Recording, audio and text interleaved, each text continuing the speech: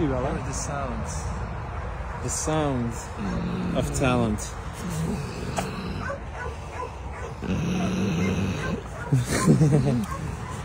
Oh.